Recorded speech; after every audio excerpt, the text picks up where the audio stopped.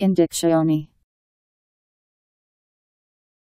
Deriving from the linguistic expression used for reason of ambiguity, division, etc. I N D I C T I O N E In dictione